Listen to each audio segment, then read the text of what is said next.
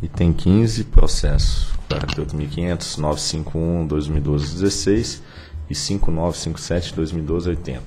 Resultado da audiência pública número 21 de 2013, instituída com vistas a acolher subsídios e informações adicionais para o aprimoramento da proposta referente à terceira revisão tarifária periódica da hidrelétrica Panambi S.A., a vigorar a partir de 29 de junho de 2013, bem como para o estabelecimento dos correspondentes limites dos indicadores de continuidade TEC e FEC para o período de 2014 a 2017. Diretor relator, doutor Romeu Donizete Rufino.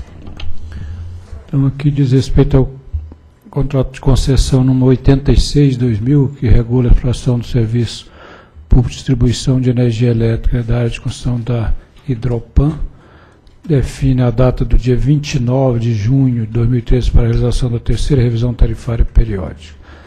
A metodologia, como já sabemos, está lá prevista no PRORET, terceiro ciclo de revisão tarifária. A proposta de revisão eh, foi submetida à audiência pública, a P21-2013. As contribuições, período de contribuição estendeu até o dia 3 de maio sessão presencial foi realizada no dia 25 de abril. A proposta final da revisão tarifária foi encaminhada à Hidropan e ao seu Conselho de Consumidor em 29 de maio, com reunião presencial com a empresa para esclarecimento e contribuições realizada em 3 de junho. Mediante nota técnica, a SRD eh, apresentou sua recomendação para o limite de indicador de DECFEC da concessionária e a SRT, também por nota técnica, detalhou sua proposta final para a revisão das tarifas da Hidropan. Passo a fundamentação. Então, de acordo com os cálculos da SRE, a revisão tarifária da concessionária conduz a um efeito tarifário médio para os consumidores cativo da distribuidora de 6,58%, a partir de 29 de junho de 2013, sendo composto pelo reposicionamento tarifário econômico de 3,79 e os financeiros do ano menos 0,97 e o do ano anterior, que era negativo, menos 3,76. Vale ressaltar que a revisão tarifária é feita a partir do resultado da revisão tarifária extraordinária, RTE, que foi já realizada no começo do ano. E a tabela mostra do item 9 que a alta tensão perceberá um efeito médio, né, em média de 3,96 positivo e baixa tensão 8,77, que conduz a esse efeito médio geral de 6,58. O efeito tarifário que será percebido por cada consumidor dependerá de seu nível de tensão, modalidade tarifária, classe de consumo e de seu perfil de consumo. A nota técnica de estrutura tarifária apresenta uma análise detalhada desse, desses efeitos. Importante aqui essa ressalva, porque nenhum consumidor isoladamente vai perceber exatamente esses percentuais, daí essa explicação. A tabela na sequência mostra aquela, como esse reposicionamento está composto. Né? Então tem lá o conjunto dos itens nos encargos setoriais, tem um efeito até considerável, é, que é basicamente em função do PROINFA, que é o mais significativo, né, e PID.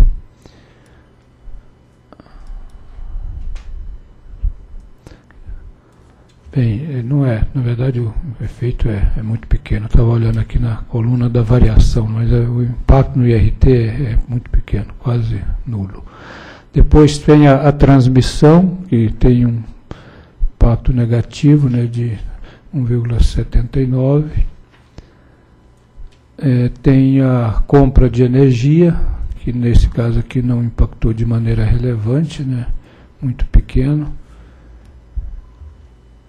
é, depois tem então o conjunto, a parcela B, que aí teve um impacto mais importante, ainda que seja uma revisão impacto positivo, né, de quase 5 pontos percentuais.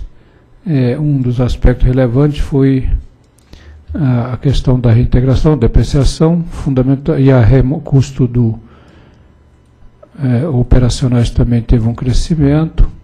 E aqui houve, de fato, um incremento importante no ativo, porque além da, apesar da redução da taxa de depreciação, houve um incremento aqui porque cresceu a base. Né? E aí que leva o efeito final, depois de considerados os financeiros, aos 6,58%. Então a parcela B é o objeto central das revisões tarifárias a ideia prevista pela Lei 2.783 tratou da redução dos itens da parcela A, mantendo inalterada a parcela B. As alterações da parcela B, portanto, decorrem da aplicação das metodologias de revisão tarifária definida pela ANEL e detalhadas no PRORED. A parcela B trata dos custos com atividade de distribuição, compreende o custo de administração, operação e manutenção e o custo anual dos ativos. Para compreender o efeito da revisão tarifária sobre a parcela B, é necessário avaliar o comportamento da receita verificada e da receita requerida ao longo do ciclo. Desde a segunda revisão tarifária, o crescimento da parcela B da receita verificada foi de 43,5%, resultando resultado alcançado pelo efeito dos reajustes à tarifa de parcela B, que leva em consideração a variação do IGPM abatido lá o fator X e da variação do mercado distribuidor, aí consideradas as variações na estrutura desse mercado. Em relação à remuneração, também já é sabido que a receita requerida depende das regras definidas para o terceiro ciclo de revisão tarifária. Para a remuneração de ativos, deve-se avaliar a variação da base de remuneração e a taxa de remuneração, OC. Para o terceiro ciclo, a ANEL reduziu o OC de 9,95 para 7,50. É, então, como a base de remuneração líquida cresceu e sua evolução se deu acima do crescimento observado na receita verificada, o efeito combinado da redução do OC com este crescimento da base de remuneração líquida leva ao aumento do valor a ser pago pelo consumidor a título de remuneração. E a figura, apesar de estar aqui negra, ela mostra isso.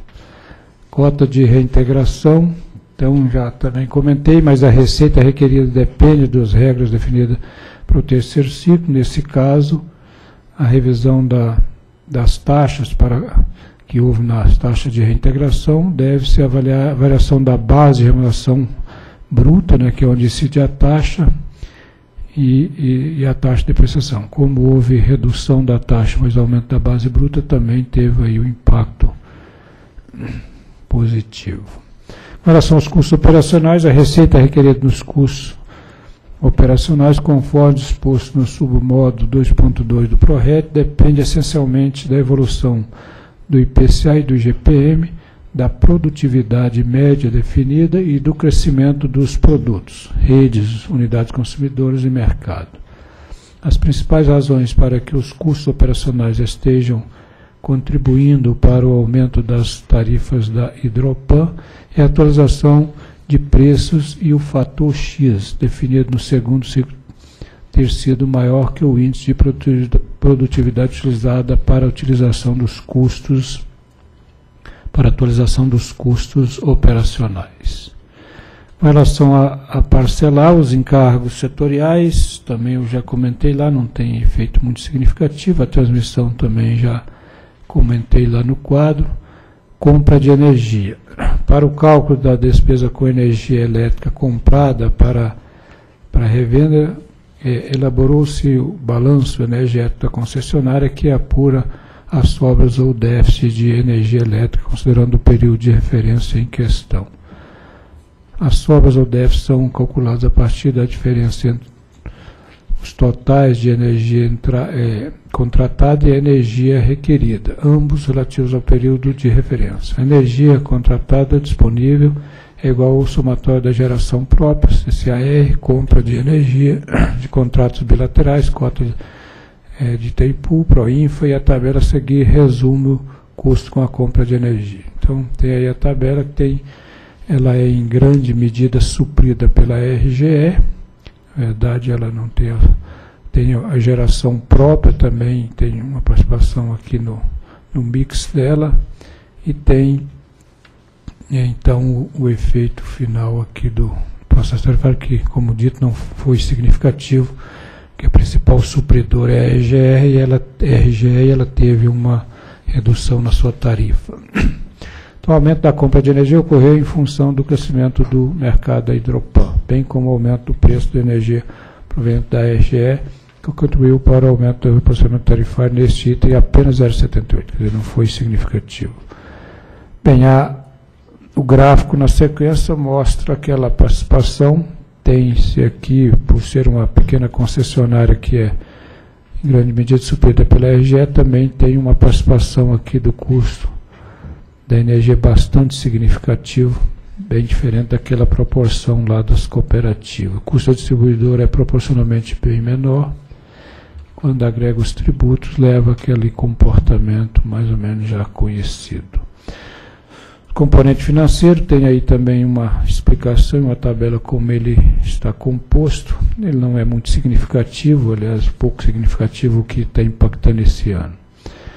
Passa o item 29. Com relação aos subsídios tarifários, considerado, considerando que o decreto 8020, de 29 de maio de 2013, inseriu o artigo 4b do decreto 7.891, autorizando o repasse antecipado é, de sete meses de recurso que trata os incisos 7 e 8 do caput do artigo 13 da Lei 10.468, relativo ao exercício 2013 na verdade não é autorizando, aqui ele orientou o repasse. No atual processo tarifário, os descontos permaneceram fora da estrutura tarifária e foi mantido no cálculo o mesmo valor atual da subvenção da CDE estabelecido na sua revisão tarifária extraordinária de 2013, no total de R$ 2.567.564, que de modo a preservar o equilíbrio econômico-financeiro contratual da distribuidora, a redução equilibrada das tarifas e a modicidade tarifária. Eventuais diferenças entre o valor já recebido pela distribuidora e os efetivamente realizados no ciclo tarifário subsequente serão equacionados no próximo processo tarifário, conforme o regulamento a ser editado pela ANEL, em atendimento ao decreto 7.891. Outro ponto que merece destaque diz respeito ao disposto na Resolução Normativa 549-2013, que estabeleceu que o repasse do recurso da CDE para cobertura da CVA é, será é, devido quando o efeito tarifário médio do processo tarifário for superior a 3% da revisão tarifária e 8% nos reajustes tarifários anual. Ou o saldo da CVA energia e CVA em cargo de serviço sistema for superior a 2% da receita econômica apurada no processo tarifário. Considerando que, no caso da Hidropan, o efeito tarifário médio do processo de revisão superou o limite previsto na referida resolução, o saldo da CVA de energia comprada apurado nesse processo tarifário de pouco mais de 84 mil reais, que corresponde a um aumento tarifário de 0,32%, será coberto com recurso da CDE. Esse valor será repassado pela Eletrobras, a Hidropan, em parcela única em até 10 dias úteis contado da publicação da resolução homologatória do resultado deste processo tarifário. Com relação ao fator X, tem toda aquela metodologia que já conhecemos, não vou passar pela mesma com relação a esse processo, está se propondo um, um fator X, componente PD de 1,40, com relação ao do, o componente T de 1,36, então que leva o X somatório do PD mais o, o, o, o T a 2,76%. É bastante alto o fator X. A partir do reajuste 2004, 2014 da Hidropan será ainda apurado o que? Sabemos que ele é apurado em cada reajuste e o resultado desse componente Q será somado aos 2,76. Bem, com relação aos limites da Factor, no item 36, a concessionária tem apenas um conjunto, aí está os limites, tanto de DEC como FEC, né, a trajetória 2014 para 2017. Aí no gráfico tem uma visão mais clara. Dá para notar que tem de fato uma trajetória no, nos últimos anos bem acentuada, porque tinha limites bastante altos. a empresa tem apurado um tanto DEC como FEC alto, né, no, no último ano piorou bastante, mas uma das providências que a empresa tomou, daí o impacto lá no, na base de remuneração, foi construir instalações para que ela possa ter uma melhor qualidade em termos de acesso do sistema de transmissão, acesso à rede básica, e ela vai, pelo que ela já comentou, já, isso já tem notado uma melhoria significativa nos índices, que ela é muito impactada pela qualidade da, da, da, da supridora, né, no caso a RGE. Então, essa trajetória que se coloca para o próximo período, ainda que ela, olhando com relação ao que ela apurou, seja desafiadora, ela é plenamente alcançável, dado essa melhoria da condição do acesso dela. Passa ao dispositivo. Com base no exposto no que consta do processo, dos processos, voto pela emissão de resolução com objetivo D. Homologar o resultado da terceira revisão tarifária periódica da Hidropan, a vigorar a partir de 29 de junho de 2013, que representa o efeito tarifário médio para o consumidor de 6,58%, sendo composto pelo reposicionamento tarifário econômico de 3,79%, acrescido o índice correspondente aos componentes financeiros incluídos nesta revisão, de menos 0,97, e descontado o índice do processo tarifário do ano anterior, de menos 3,76. Na verdade, como ele é negativo, ele tem um efeito aqui de somar. Estabelecer o valor do fator X de 2,76, né, o PD e o, e o T, e ainda devendo ser somado o componente Q definido em cada processo de reajuste, e também estabelecer os limites de indicadores de continuidade da ECFEC para o período 2014 a 2017. É o voto em discussão. Eu chamo a atenção aqui, Romeu, no que diz respeito aos indicadores de qualidade. A gente observa uma sensível degradação que ocorreu do ano de 2011 para 2012. Inclusive, as compensações que são feitas ao consumidor desde 2010 denotam isso. Em 2010 foi na ordem de 7 mil reais, 2011 na ordem de 36 mil reais. Em 2012, esse número de 36 mil pula para 377 mil reais, ou seja, aumenta em mais de 10 vezes. E quando a gente vai olhar o gráfico, a gente observa também que a contramão do que ocorre com a média nacional, onde as distribuidoras estão transgredindo o DEC, a Hidropan está transgredindo aqui no ano de 2012 o FEC. Não sei se tem alguma peculiaridade especial. E outro ponto que chama atenção é o DEC. O DEC é apurado em 2011 de 8,33 horas e em 2012 ele tem uma, uma expressiva piora, aumentando praticamente em 10 horas, caindo, subindo para o patamar de 17,09. Mas mesmo assim, ele não transgride o, limite regulamentar, que é de 21 horas. É aqui o que é, alega a empresa e, e, e, pela nossa avaliação procede, é o que eu já comentei. De fato, ela tem uma. Ela é muito impactada pela qualidade da, da, da do atendimento da supridora, da, da RGE, que já está estrangulado lá o a, processo que, é, que, que ela interliga o sistema dela, da Hidropan, à RGE. E é por isso que ela fez essa opção de fazer esse investimento, que é significativo, né, na, numa acesso à rede básica, e ela diz que realmente o ano passado, 2012, essa situação aqui é em grande parte, quase que na totalidade, decorrente dessa, é, dessa qualidade do atendimento da RGE. Então ela até está indagando, incluiu esse questionamento do processo aqui, mas eh, nós entendemos que isso é um processo à parte, que ela entende que deveria é, esse ressarcimento que a RGE tem que fazer em função dela transgredir a qualidade, ela não deveria compensar o consumidor e ficar para ela, porque ela está compensando o consumidor em grande medida por algo que é imputável à RGE. Então, mas o que importa aqui é que é, ela, ela alega, e parece que é verdadeiro, que em grande medida isso aqui é em função dessa questão da supridora, que estará em grande parte, quase a totalidade, resolvida a partir de agora, e ela já disse que isso é, é, é real, é, já se verifica em 2013. Né?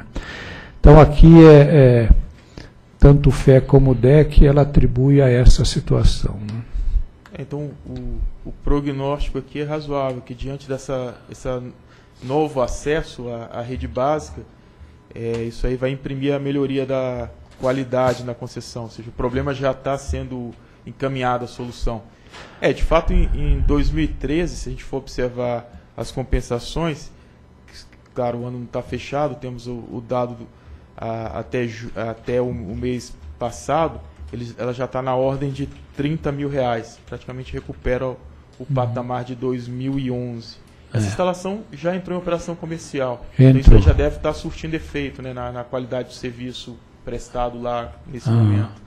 Não, já está, segundo alega. Claro que é, ela entrou bem recente, até essa situação foi dado um tratamento excepcional porque ela não entrou com seis meses de antecedência à entrada, mas entrou antes do processo. Eu não sei exatamente a data, mas é recente, é meses atrás, já no ano de 2013 que ela entrou, mas segundo eles alegam, isso já está realmente surtindo efeito. Certamente esse nível de compensação, que no, no ano de 2012 foi meio extrapolou né, o que vinha sendo praticado, ele degradou de maneira acentuada. Mas está eu diria que está resolvido pelo que ele comentou. Né? Ok? Em votação. Voto com o relator. Também voto com o relator. Eu proclamo que a diretoria decidiu por homologar o resultado da terceira revisão tarifária da Hidropan, a vigorar a partir de 29 de junho de 2013, que representa um efeito tarifário médio para os consumidores de 6,58%, decomposto como já relatei, estabelecer o valor do fator X, né, na verdade o PD e o T em 2,76, e ainda devendo ser somado o componente Q definido em cada processo de reajuste, e por último estabelecer os limites de indicador de continuidade DEC-FEC para o período 2014 a 2017. Próximo item.